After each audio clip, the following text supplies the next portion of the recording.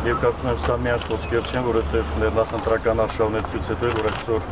մեր ժողովրդի համար ամենացանկալի բանը երկրի ապագան է, առաջնահերթ իհարկե խաղաղություն է, բայց կարծում եմ շատ ու շատ հանգամանքներ ու անելիքներ կան եւ ընտրությունները դրա հնարավոր միջոցներից մեկն է։ Ինչ է կարծում խորհրդանում կփոխի պատգամավորների համեմասնությունը Բնականաբար որոշակի փոփոխություններ կլինեն, բայց իմ տպավորությամբ հիմնական երևի դասավորությունը կպահպանվի արդյունքություն կունենանք իրական խորհրդարանում։ Ինձ թվում է, որ այո, որովհետև այս ընտրությունները նախորդների համեմատ ավելի մրցակցային էին եւ զգացում էր մեր քաղաքական դաշտի ակտիվությունը։ Բնականաբար նախընտրական շրջանը լրիվությամբ բացահայտել է բոլորի հնարավորությունները եւ այս իմաստով կարծում եմ, որ որոշ սահմանափակումներ չեն եղել եւ ինձ թվում է, որ քաղաքական դաշտը ավելի լայն ներկայացված կլինի 6-րդ գումարման խորհրդարան։ Քարոզարշավի մշակույթի մասին, կուլտուրայի մասին ինչ կասեք, ընդդիմություն եւ իշխանական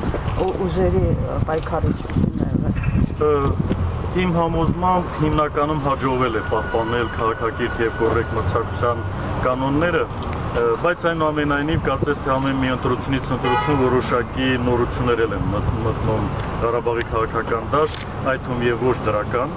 բայց պետք է ասել, որ հաջողվել է հիմնականում այդ քաղաքակիրթ